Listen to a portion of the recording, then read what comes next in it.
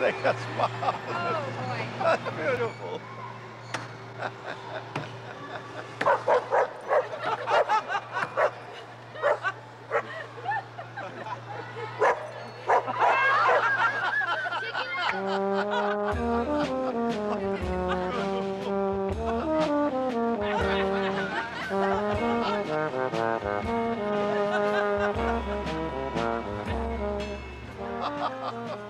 Mirrors I find very confusing to this day, and I think it takes a lot of getting used to.